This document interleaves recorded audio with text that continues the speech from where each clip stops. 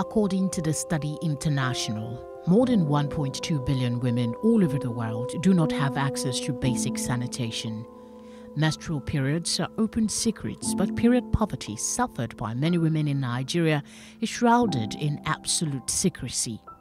While period poverty is the inability to afford sanitary wares and products during menstruation, what cannot be exhaustively defined is the ripple effect of this type of poverty on women. Period poverty is, in a layman's term, the inability of a woman or a girl to afford pads or menstrual hygiene education.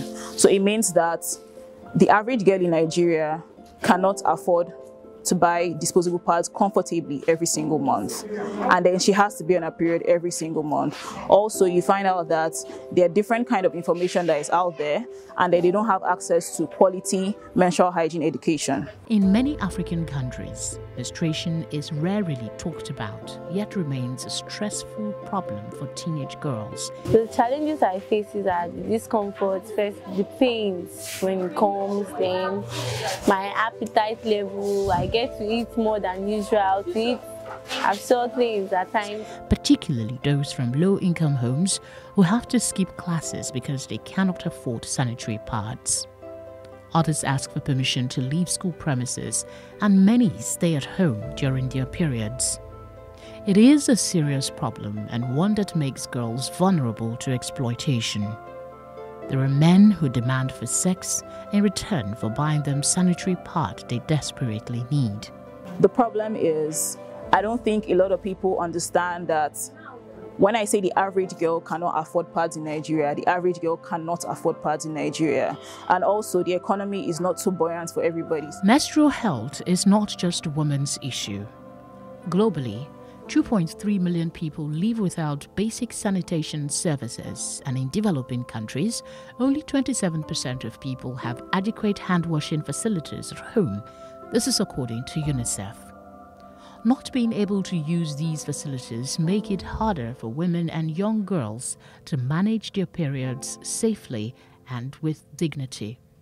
Research by Information Nigeria shows that many Nigerian girls and young women now use cloth napkins, cotton wools, rags, newspapers and tissue paper due to escalating cost of tampons. Apart from the fact that some of them have not even seen pad before in their life, some of them use tissues, um, cotton wool, um, rags, newspapers, believe it or not, yes.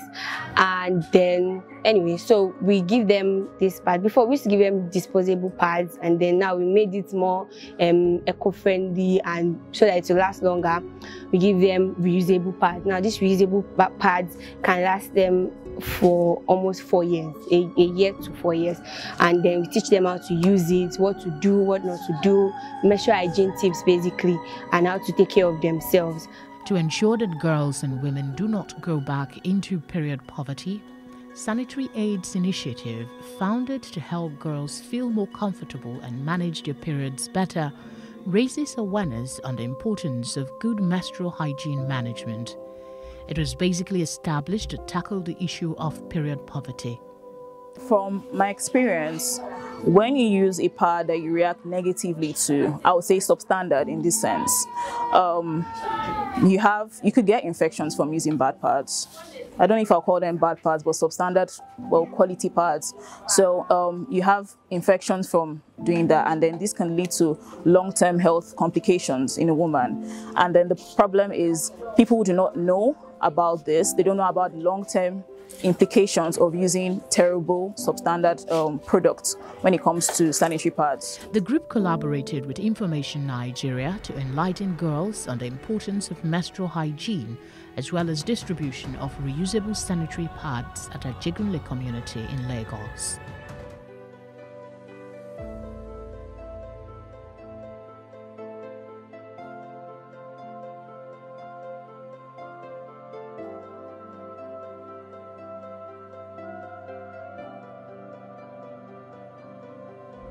We've come to this um, environment before and we gave out disposable pads. And those disposable pads, of course, we have to come back again next month and give you pad again, right?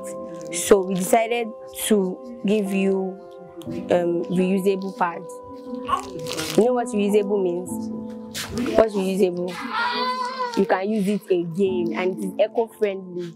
What do I mean when I say eco-friendly? Hmm. It's not harmful to the environment because by the time you use disposable pads, you have to throw them somewhere, be? So, but this one, you don't have to do that. I'll tell you how to use this one. I have one that I'll use for an example. Yes. So, there's five of this in this one pack, right?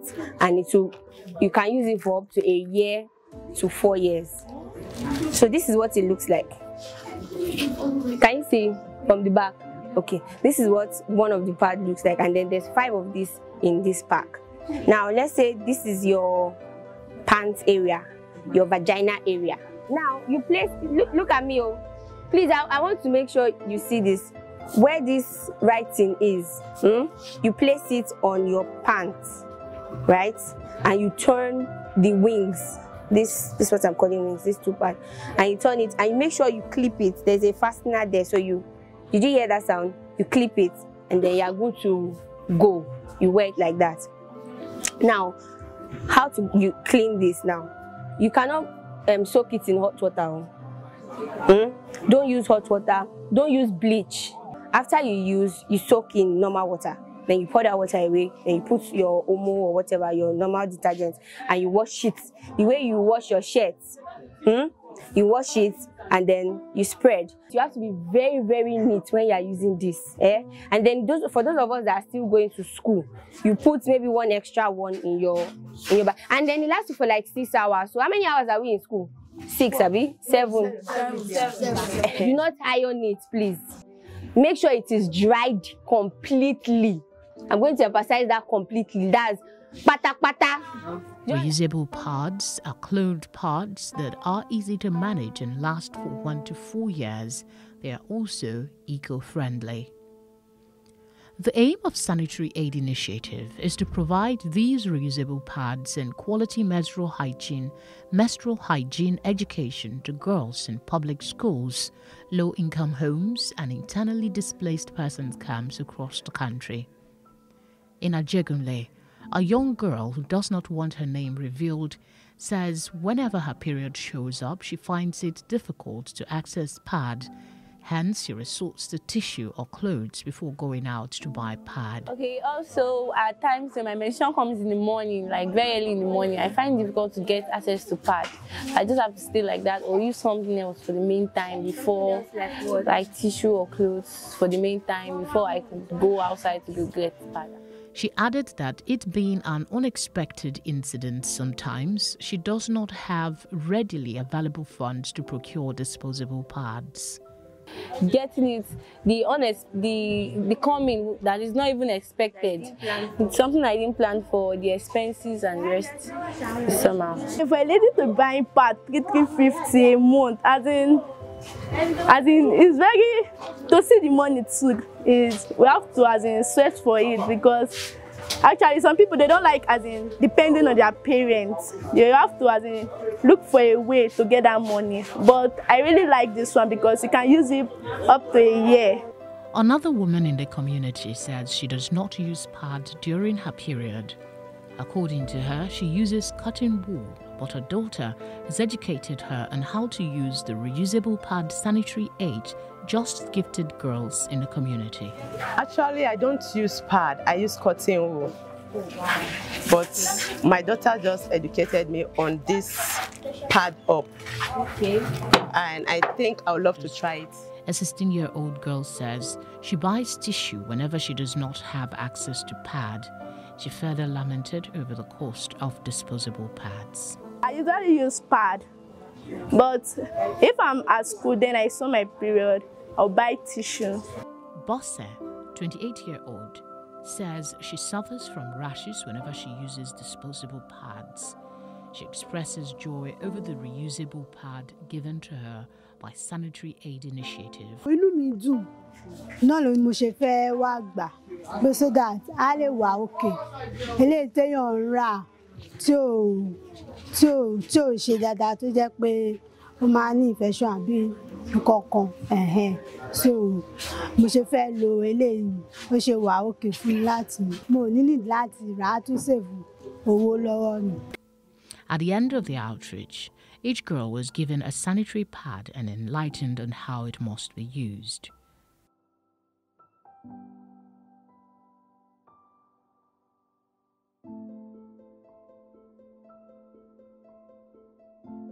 Through previous campaigns, the 34 year old activist said Pad Up Africa has distributed free sanitary pads to schools, mostly in Abuja and its environs, and is now hoping to draw the attention of the government, international organizations in ending stigma and taboos associated with menstruation, and for the Nigerian government to remove tax from pad and other menstrual hygiene products. We give out sanitary pads to young women in IDP camps and girls in public schools from low income um, background and stuff. So far, We've reached out to about 15,000 girls in Nigeria, which is a good number. But when you look at the amount of girls that are affected by period poverty, you find out that that's just a drop of water in a really large ocean.